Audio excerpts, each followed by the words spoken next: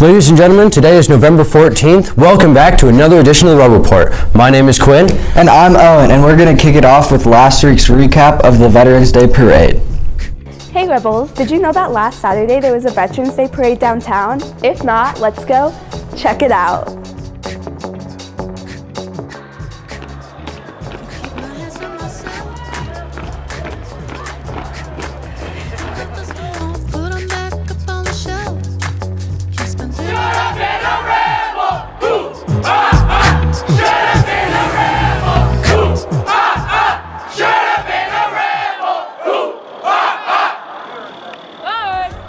Joe. How was the Veterans Day Parade last Saturday? It was great. We were able to march for all the veterans downtown, and we had a lot of fun. And I think the best part were the cadences that we were able to march to. They were super great.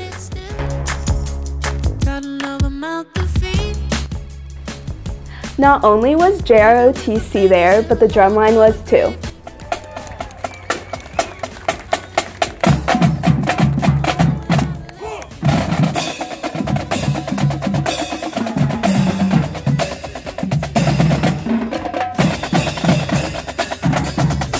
Thank you, veterans, for all that you do. Thank you to Drumline and ROTC for representing South so well in last week's Veterans Day Parade. Now let's go to Mr. Craig to hear about the National Novel Writing Month event that's happening next week. Hello, Rebels. Did you know that November is National Novel Writing Month? Next week, the 20th, during lunch in room 211, we're going to do a NaNoWriMo write in. So if you're interested in writing a novel and being surrounded by fellow creative writers, please join us. Thank you. Hey students, uh, we have a writing center here at South. Uh, our writing center is up in Library 300 and we've got student tutors who are highly trained up there to help you with your writing, with any writing that you do in your classes. Many teachers are offering extra credit for visiting the writing center, so please ask your teacher if that's true for them and go ahead and come on up. Uh, we are open seventh period and after school, Monday, Tuesday, and Wednesdays, again in Library 300, and you just walk right in. We will give you a tutor when you walk in, and that person will sit down with you, help you edit your writing, help you continue if you're stuck, help you look at a teacher's assignment and figure out how to make a plan to make that piece happen. We will help you with anything you need seniors, scholarship essays, college applications, um, anything that you need help with, uh, we are there waiting to help you. So we'd love to see crowds come in during seventh period and after school. Um, thank you. Wow, James, this sure is some terrific blood that you're donating. Did you not sterilize this needle? No, but the people at the blood drive will. Sup guys, it's your boy James here. Are you interested in giving to the blood drive? The blood drive will be held Friday, November 22nd, all day in the gym lobby. You have to be 16 years old or older and get parent permission to participate. Be sure to sign up on Schoology and a student senate member will contact you. Now let's go to sports with Margalit and Sarah.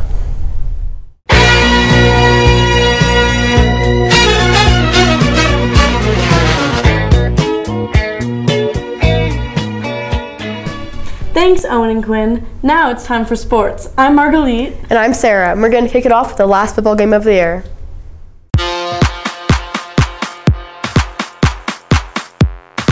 Hey Rebs, it's Kaylee. Unfortunately, the football season has come to an end, but I'm here to give you a recap on the last game. I'm Alan Konsick, number 58 inside linebacker. I'm John Lewis, number 54 defensive end. How did you guys' last game go? Uh, we won 49-41 against the uh, Gateway Olympians. It was bittersweet and it was a great way to end off the season actually. The team started off strong by scoring first in the first quarter by Jayshawn Leba making a 26-yard pass touchdown. In the second quarter, player Jaden Fair made a 9-yard pass touchdown, followed by a kick from Ashley Gilliam. Following Jaden's touchdown, Ethan Maselli made a 1-yard run touchdown.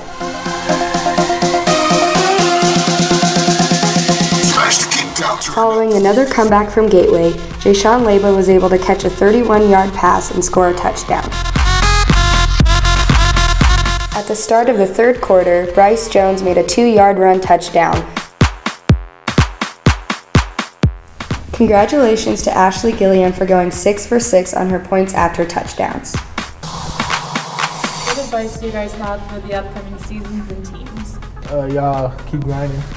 Always respect the game, the program, and your teammates. And shout out all the coaches and the teammates that we had this season. Good luck next season, Rebels. Thanks, Alan and John, for that football recap, and congrats on winning your last game and pushing through a tough season. Can't wait for next season. Congratulations, football, on your two consecutive wins to end the season. I'm excited to see you guys next year. And now for a sport where the strongest muscle you need is your brain speech and debate. Our speech and debate team has been having a very successful season so far. Let's go check it out. On Saturday, the team of Haley Hayes and Caleb Rocknatican continued their winning record and broke to the quarterfinal round. They ended up taking fifth place overall. So how is the debate season going so far? Uh, it's really good. Haley's doing a great job heading our debate team, and Taylor's doing a great job with speech. Uh, last week was really promising. We had a team, or me and Haley broke to quarters, um, and everyone else is showing a lot of improvement. Go check them out at their tournament this weekend in Greeley. Oh. Good luck, speech and debate, at your competition this weekend in Greeley. And now we're up to cheerleading with our second competition of the year. Hey Rebels, the cheerleading team had a league competition against Montbello last week.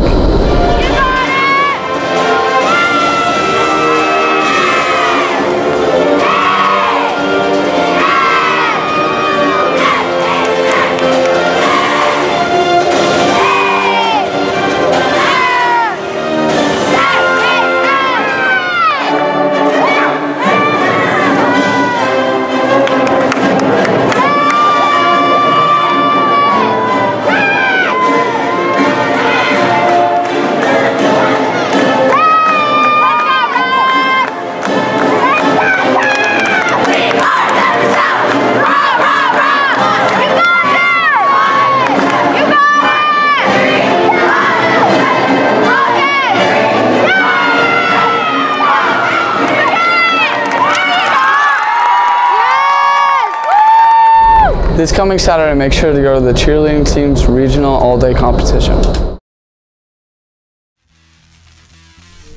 Good job, cheerleaders, and good luck at your next meet. And now, let's go talk to Henos and Weston about the winter sports that you should join. Hey Rebels, are you interested in playing a winter sport? Well, if you are, here are your options. There's girls basketball, boys basketball, wrestling, and girls swimming. Tryouts are November 18th, so make sure to come out. Hey Rebel athletes, make sure you stop by the athletics office in room 128. Bring me a copy of your physical if I don't have one from fall sports. You can get an appointment for free at the Denver Health Clinic that is down by the nurse's office. And then you also have to register and pay online. There is no more payment by cash, so you have to do the payment during your registration with a credit card on your Chromebook. Thanks. If you need to get a physical, come down to room 144 to set up an appointment. We also have a girls wrestling team, so if you're a girl and you're interested in wrestling, come try out. We also need a manager, so if you're interested, go talk to Coach Blade in room 314.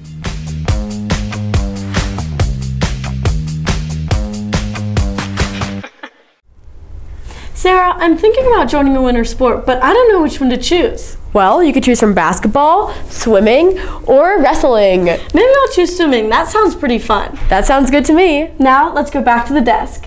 With Owen and Quinn. Thank you, Margaret and Sarah, for a great sports report. Hey, did you see the jazz band perform at Dazzle nightclub last week? No, I didn't. Let's go see what you missed. All right.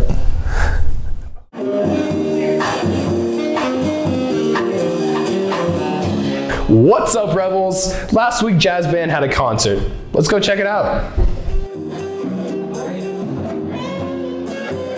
Yep, last week on Monday, the Jazz Band had a concert at Dazzle.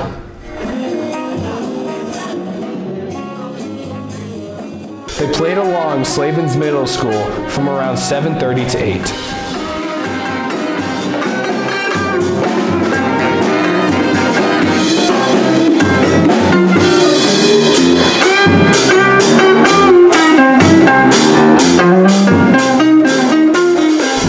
That jazz band concert go? It was pretty good. Everyone played really well and we had a good turnout. Super fun. Yeah. Yeah, man. Our rhythm section was pretty good. Um, really good actually. We had a good time jamming. Um, our horn section was awesome and our saxes were on point. Everything sounded really good. Pretty good performance overall, I would say. Good job, jazz band. Looking forward to the next one.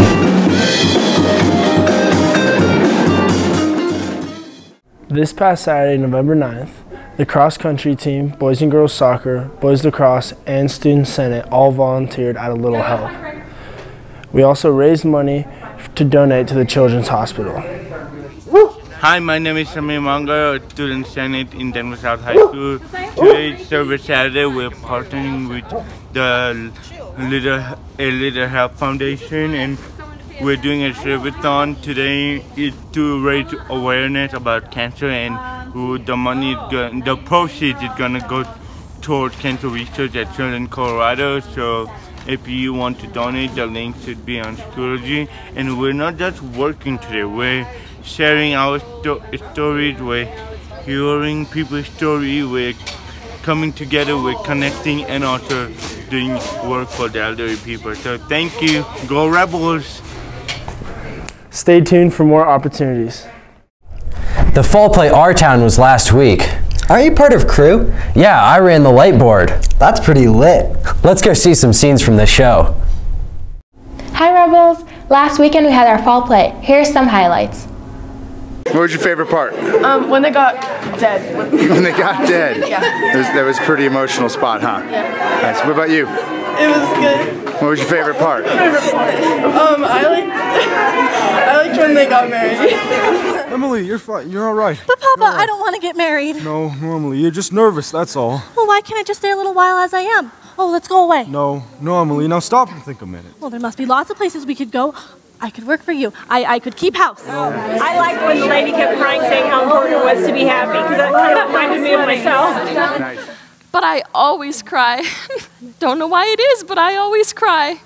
I do. I just like to see young people happy. Don't you? The show was amazing. All the kids did incredible, and I'm so happy that I came back down to see the show. Favorite scene? Um, the ending scene. It's the best. Yeah. Well, I won't choose to live over a sad day. I'll choose a happy one anyway. Oh, I'll choose the day that I first knew that I loved George. Why, why should that be painful? You not only live it, you see yourself living it. I was very impressed. I've seen maybe three productions of uh, the show over the years, but uh, these guys really did a great job of uh, making me feel the characters. Favorite scene? Uh, probably, honestly, where Luella was talking about uh, Stimson's drinking problem. Uh, that one spoke to me more than any of the other productions I've seen. Mr. Webb. Quite a moon. Yeah. All quiet tonight? Well, Simon Stimson's been rolling around a little. Just saw his wife moving out to hunt for him, so I looked the other way. There he is now. Good evening, Simon. Town seems to have settled down for the night pretty well. Town seems to have settled, yes. Guess we. That was an amazing show. Don't forget to come and support your Rebels for the spring musical Mamma Mia. Wow, nice job on the show, Quinn. Thanks. It really was a team effort from the actors and stage crew coming together to make it a beautiful show. But I'll take the credit nonetheless. Okay, on a final note, remember to go to the food bank after school. And bring your reusable bags. All right, that's it for us. Ciao.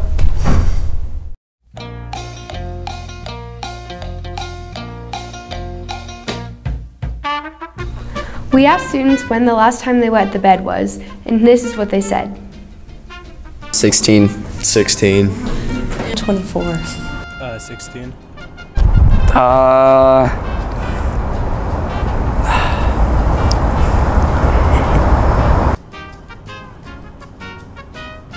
Fourteen. 13. Yeah. I want to say 14. 15. I was 15. I was 15. 36. 15 years old. What's the color of the sky? Orange. Uh, yellow. I'm gonna say black. Chartreuse. Red. Teal. Purple. Red. Forest green. Then we asked what toy did they play with most as a child? I would get some rocks and a stick and a bunch of brush. Find the assist. Try to get a spark and then get the stick and. Um, a stick. Flamethrower. Uh, probably use like sticks, bring like lighter. Lighter. Yeah, with or yeah, with a lighter. Yeah, or matches. Some Matches. yeah, matches, matches. Maybe wait for lightning to strike or something like that. I'm not really too sure how to do it otherwise. Rocks and sticks. First of all, you get coconut. If you could marry anyone, who would it be? Ben Shapiro. Kim Kardashian. Um, I mean Hitler, he was pretty bad. Okay. Donald Trump. oh Tommy. Okay. Okay. Okay, buddy. I'm not done thinking. Okay. That's, that's how I feel. Okay. That's No, my it's okay, opinion. it's okay. Ted Bundy. For sure, Donald Trump. Yeah. Uh, I'm gonna say John Cena, honestly. Kylie Jenner. Kylie Jenner. Kylie Jenner. What are your thoughts on women's suffrage? It real. Yeah, it's definitely real. I am uh, like fearful. It's whatever. I don't really care about it to be honest. These gosh darn liberals. It's a serious thing that is not being like solved. Yeah, I'm scared of what the future holds. Yeah, it's pretty awful. Yeah. Yep. If you were going on a trip to Antarctica, what would you bring? Pineapple. Sunscreen. Definitely some shorts because I and like some short sleeve shirts because I feel like it gets really hot over there. Uh, and some flip flops. Yeah, like shorts and stuff. You know, I'm a little sport, basic muscle shirts. I have very fair skin. A boat.